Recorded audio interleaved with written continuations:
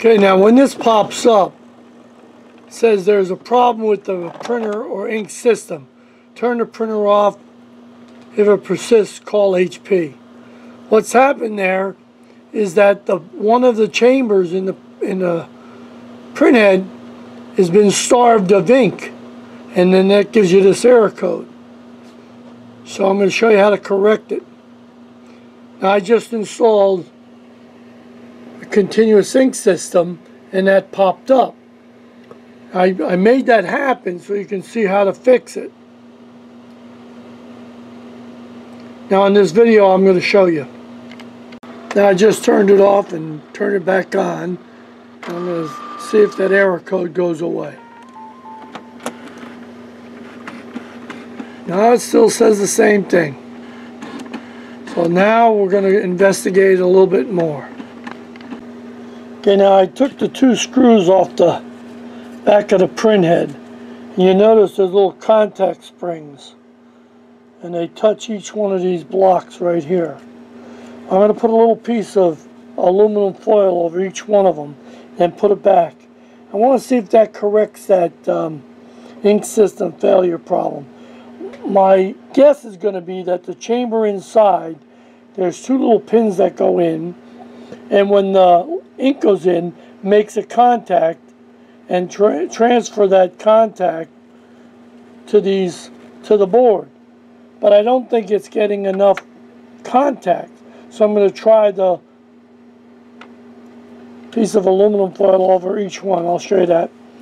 Now, I don't know if you should leave it on there, but I'm going to give it a try right now.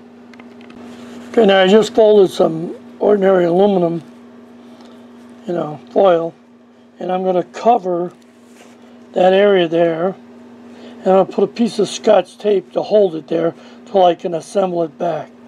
But just over like that, I want one separate one for each one of the contacts.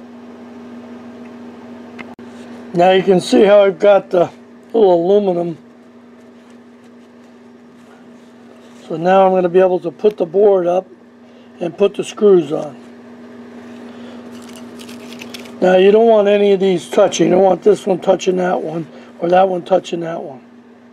Keep them separated. Okay, now I put the ribbon cable back in. Got the screws back in. Now I'm going to put the print head back in.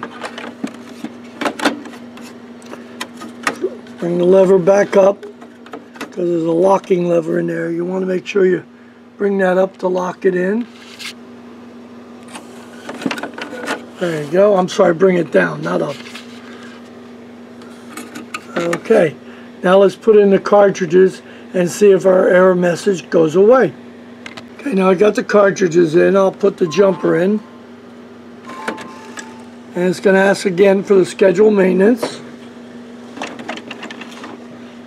We'll say OK.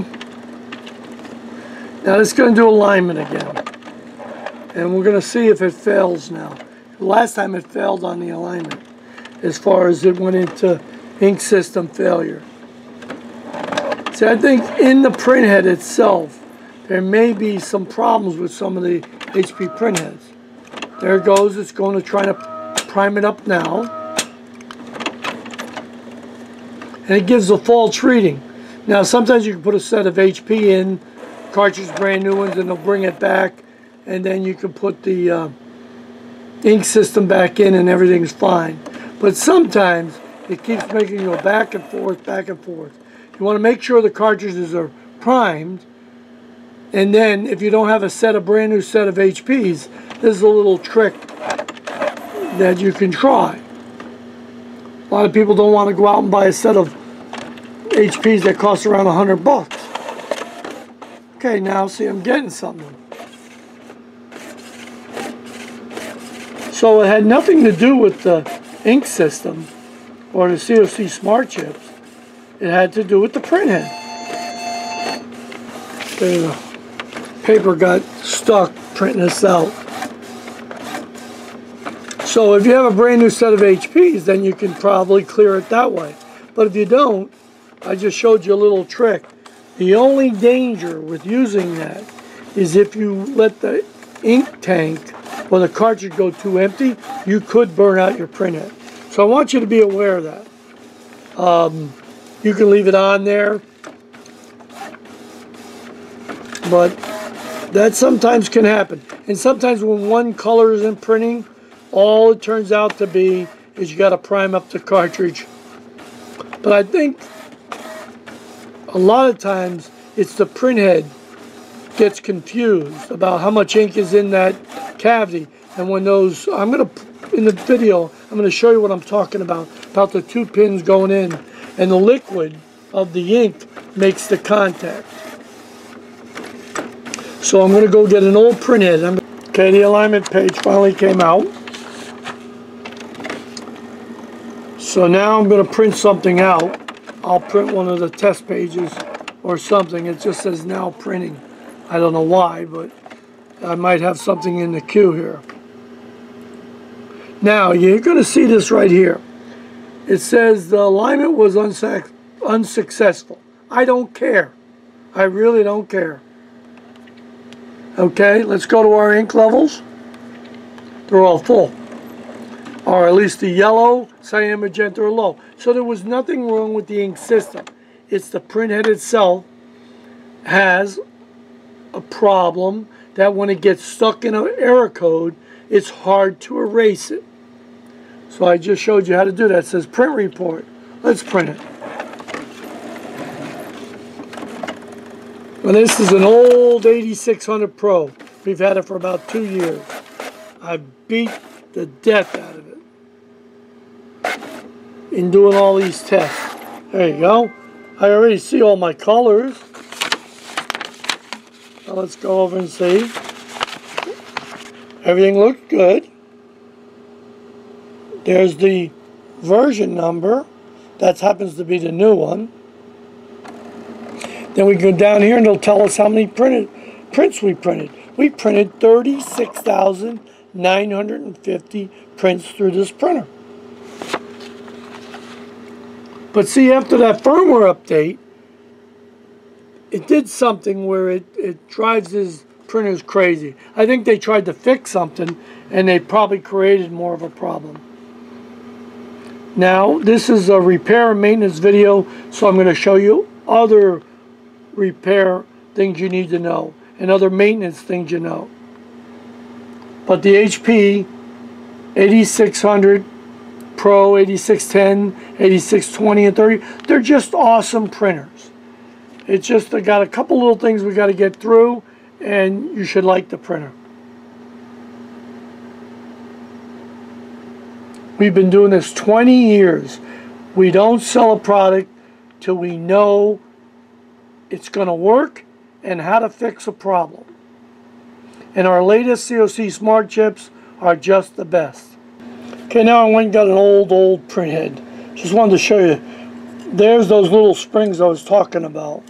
See, I think what happens over time, they get dirty back there or whatever, but they don't report correctly.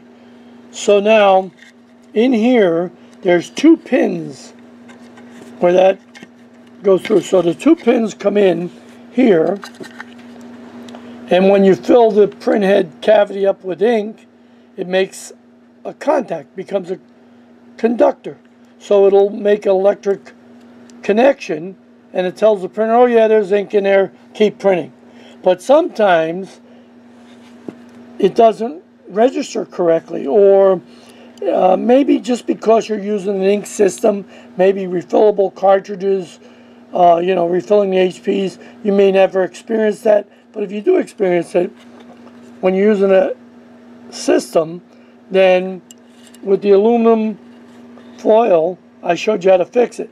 The downside, and this is very important, if you run it out of ink, it will burn that printhead out. So beware of that. Now I've left the foil on. I keep watching my ink.